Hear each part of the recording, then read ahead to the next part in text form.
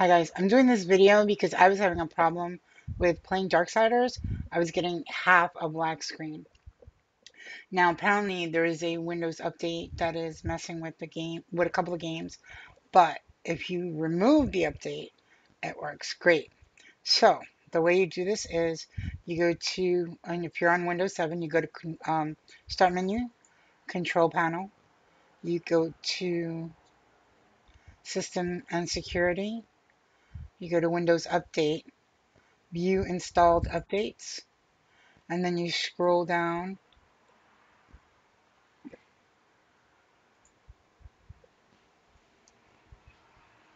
and you remove this one, KB2803821. Click on it, click uninstall, and yes, and just wait. Now I know there's vids out there about getting a full black screen, which they ask, they tell you you need to remove the THQ, AVI, um, the, I think it's Alliance, the, it's all the, the commercial logos that are giving you that error, but this is not the same.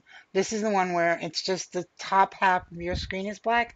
Now I noticed it wasn't only Darksiders. I just off the top of my head can't remember the other two games that I have that it wasn't that it was doing the same thing to.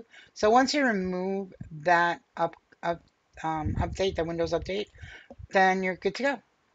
So I hope this helped you. Um, don't forget, click like, subscribe. Um, I have other vids out there but this is actually my first how to fix something vid.